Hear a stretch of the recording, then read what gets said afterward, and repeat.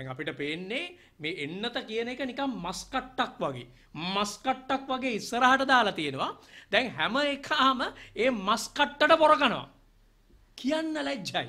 මේ වෘත්තීය වේදීන් මේ උගත් වෘත්තිකයන් වෘත්තීය සමිති බුද්ධිමතුන් රැඩිකල් යයි කියහගන්න කලාකරුවන් පශ්චාත් නූතන කලාකරුවන් පශ්චාත් නූතන කලාකරුවන්ගේ පශ්චාත් භාගයත් එලියට එලියට පේන තරමටම එයා ඒ අය විසි වෙලා තියෙන්නේ. මේ අද සියලු දෙනාම සියලු දෙනාම දැන් මේ ආණ්ඩුවේ මස් කට්ටට පොරකනවා. මේක තමයි ආණ්ඩුව කරපු හැටි. මේක ආණ්ඩුව හිතාමතාම මේක මඩ ගොහරක් බවට පත් කරා. එන්නත් කරණය මඩ ගොහරක් බවට පත් කළා. අද ඒ මඩට බැහැලා හැම එකාම රෙදි උනාගෙන දඟලනවා. කියන්න ලැජ්ජයි මේ වෘත්තීය වේදී මේ රටේ සම්භාවනාවට පාත්‍ර වෙච්ච වෘත්තීය වේදීන් රෙදි උනාදමලා තමන්ගේ වෘත්තීයම වෘත්තීය ගෞරවය ඒ වෘත්තියේ තිබෙන්නා වූ ආචාර ධාර්මික භාවයන් පවා උනාදමලා මේ කොරෝනාව විසින් මේ රටේ සියලුම වෘත්තීය වේදීන් ඒ වෘත්තීය වේදීන්ගේ තිබෙන ආචාර ධාර්මික බිඳවැටීම ආචාර ධාර්මික පිරිහීම අද රටට ලෝකෙට හෙළි කළා තියෙනවා. මේක තමයි රටට ඇති වෙලා තියෙන නස්පැත්තිය. අද මුළු රටේම තිබෙන ආචාර ධාර්මික පිරිහීම, ආ සමාජයේ තියෙන ආචාර ධාර්මික පිරිහීම පේන්න තියෙනවා. හැබැයි එතනට රට ඇද්ද දමලා තියෙන්නේ.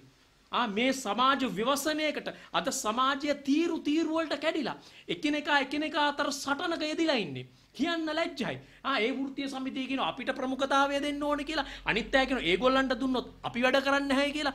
අද බලන්න අද සෞඛ්‍ය පද්ධතියේ මේ සෞඛ්‍ය ශේත්‍රයේ එකා වගේ වැඩ කරන්න ඕන මොහොතක්. හැම කෙනාම එකම අරමුණකින් වැඩ කරන්න ඕන මොහොතක්. හැබැයි එකම අරමුණකින් වැඩ කරන්න ඕන මොහොතක අද මුළු සෞඛ්‍ය පද්ධතියම බිඳ දමලා එකිනෙකා එකිනෙකා අතර සටනකට ඇද දමලා තිබෙනවා. එක වෘත්තීය සමිතියක් අනික් වෘත්තීය සමිතියට එරෙහිව කටයුතු කරනවා. ඒගොල්ලෝ කියනවා අපිට ප්‍රමුඛතාවය දෙන්න ඕනේ අනු අරගොල්ලන්ට ප්‍රමුඛතාවය දෙන්න බෑ. අපි තමයි අංක 1. අපි තමයි ප්‍රමුඛතාවය ඉදිරියෙන්ම ඉන්නේ. ආ ඒ නිසා මොකද්ද වෙලා තියෙන්නේ? අද මුළු රටම කීතු කීතු කළා. සමාජය කීතු කීතු කළා. බෙදා දමන තැනකටපත් කරලා තිබෙනවා මේ ආණ්ඩුව. මේක තමයි ආණ්ඩුවේ ප්ලෑන් එක. මේක තමයි ආණ්ඩුව දාපු මස්කට්ට.